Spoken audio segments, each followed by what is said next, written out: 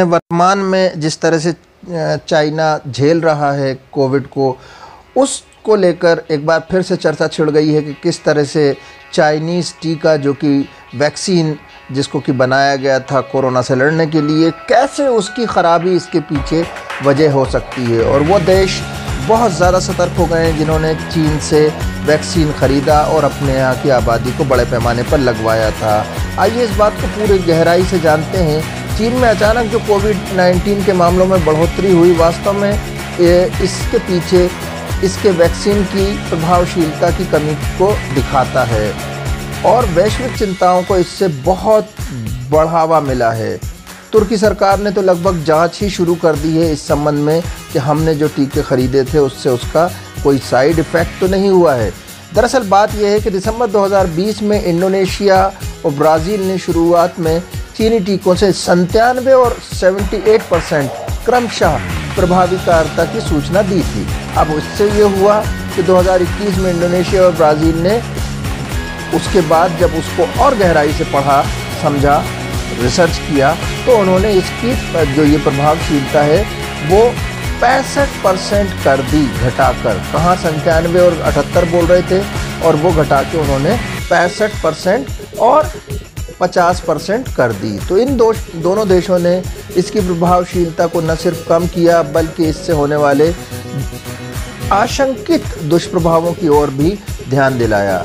Tibet press के अनुसार Covid 19 के मामलों और इससे होने वाली मौतों के बढ़ने के बाद थाईलैंड और सिंगापुर ने चीन के टीकों का इस्तेमाल लगभग बंद ही कर दिया है और एस्ट्राजेनिका और फाइजर द्वारा बनाए गए वैक्सीन का इस्तेमाल करना शुरू कर दिया है।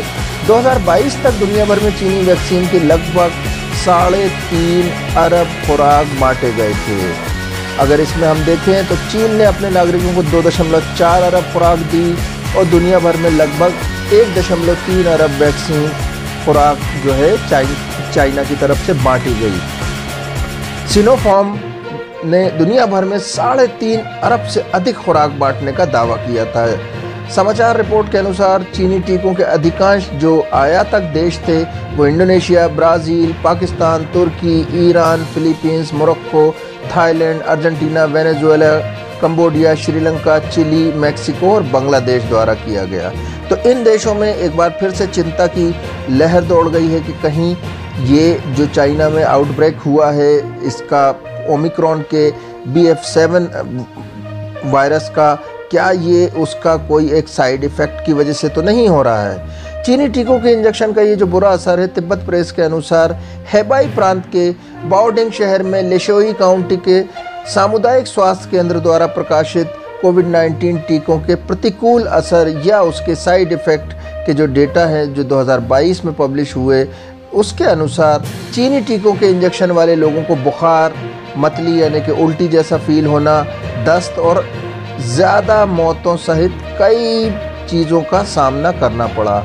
ये दस्तावेज़ जो हुए हैं, वो कुछ लीक हुए हैं, उनके बारे में बात करते हैं। Baoding municipal leadership team for epidemic response द्वारा जारी एक दस्तावेज़ में जो कि ऑनलाइन लीक हुआ था, उसमें दावा किया गया था कि चीनी अधिकारियों ने चीन में बने टीकों से पूरी तरह से वैक्सीनेटेड एक व्यक्ति को सैंतालीस दिन के लिए क्वारंटाइन कर दिया था।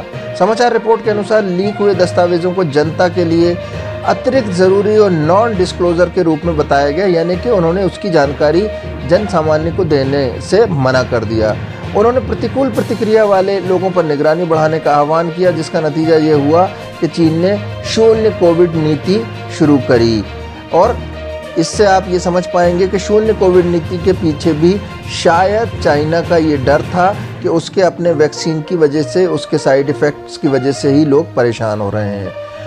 आज की स्थिति ये है, आज या ये कह लें आपके वर्तमान की स्थिति बिल्कुल आज की तो नहीं, कि चीन के सभी अस्पताल मरीजों से भरे हैं, कोविड महामारी की नई लहर में लगभग यही स्थिति छोटे बड़े सब शहरों की है। दक्षिण पश्चिम बीजिंग के अस्पतालों की भी हालत यही है। एंबुलेंस को आपात चिकित्सा कक्ष में बदलकर वहीं एंबुलेंस में ही इलाज किया जा रहा है और मरीजों की तीमारदार अस्पताल में एक भी खाली बिस्तर नहीं मिल पा रहा है लोगों को। तो कई जगहों पर ये हालात इसी तरह से हैं। एसोसिएटेड प्रेस के पत्रकारों ने दो दिनों में हैबाई प्रांत के बाउडिंग और लांगफांग के कस्बों और छोटे शहरों के अस्पतालों और शमशान घाटों का दौरा किया और स्थिति को बहुत ही गंभीर बताया है। तो ये खबर हमने आपको दी। उम्मीद पसंद आएगी आपको।